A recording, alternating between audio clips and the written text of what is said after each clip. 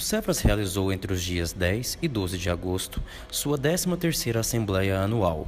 O encontro, destinado aos trabalhadores da instituição, como coordenadores, assistentes sociais, psicólogos, técnicos, educadores sociais e frades da província franciscana Imaculada Conceição do Brasil, dos estados de São Paulo, Rio de Janeiro e Paraná, aconteceu no Centro de Formação das Aldeias Infantis SOS Brasil, em Poá.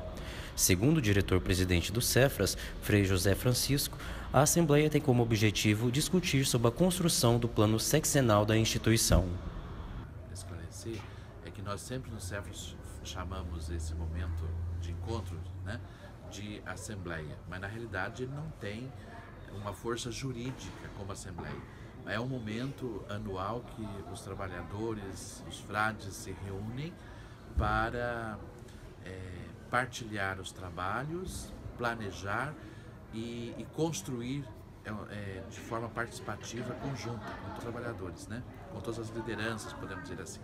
Então, a Assembleia do Cefras é um momento de construção conjunta de todos os que trabalham, independente do serviço, das funções, mas as lideranças todas é, trabalhando para compor, a, ajudar a construir o Cefras, né?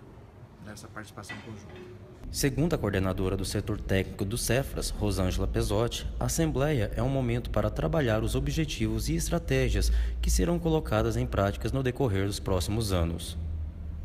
Essas assembleias do Cefras são um momento anual em que nós reunimos as lideranças dos nossos serviços, as coordenações, os técnicos, e cada ano ela tem um propósito. Alguns anos ela tem um propósito mais formativo, e nesse ano especialmente ela foi uma assembleia para a construção do plano do Cefras no próximo para o próximo sexênio, né?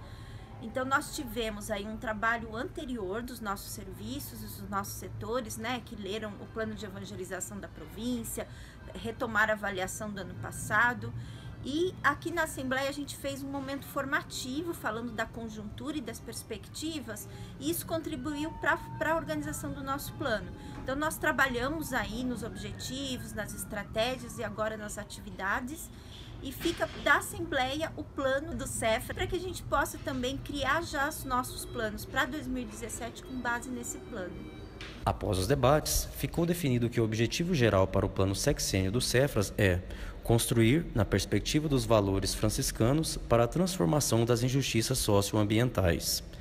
Dentro dessa perspectiva, foram traçados alguns objetivos específicos que devem fazer parte desse plano e as estratégias que deverão ser conduzidas eu acho que a Assembleia também é um momento importante que a gente reúne todos os serviços, né? Então é um momento do encontro, um momento da celebração, um momento da aproximação. Então a Assembleia também tem esse papel importantíssimo no Cefras, que é esse momento de reunião, de confraternização e de fortalecimento de todos que estão aqui. Com os objetivos definidos, o Cefras agora dá início aos planejamentos dos setores de coordenação geral e dos serviços.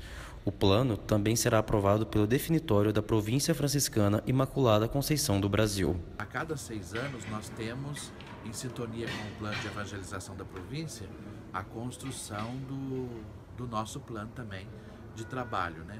É, são linhas é, gerais que indicam o caminho que o CEFRO deverá, deverá percorrer nos próximos seis anos.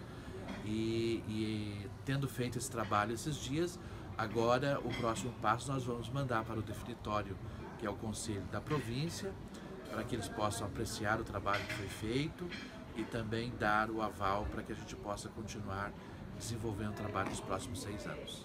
Alan Costa para a Sala Franciscana.